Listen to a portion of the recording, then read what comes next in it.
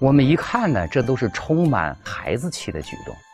这些东西其实都是说明了这七个蜘蛛精啊，实际上他们对唐僧构成的诱惑，就代表了那些年纪非常青春的少女对唐僧构成的诱惑。而且唐僧确实是多多少少心中是有所动的。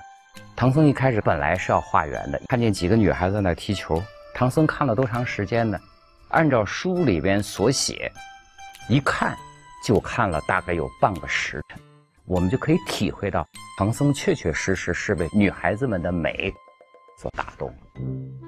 韩田禄认为，在《西游记》原著中，对唐僧进行美色诱惑的女妖大致可分为四种类型。除了以蜘蛛精为代表的少女型之外，还有以老鼠精为代表的贤惠型，以蝎子精为代表的妩媚型，以性仙为代表的才女型。那么，面对美色诱惑的唐僧，又是怎么做的呢？你就依从我，安息了吧。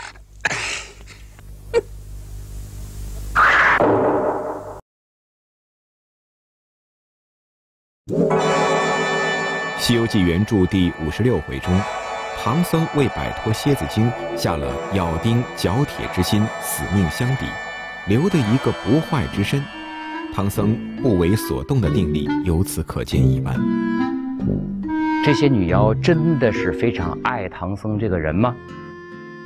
其实不是，这个唐僧是金蝉子转世，转世到现在，唐僧应该说已经是第十次了。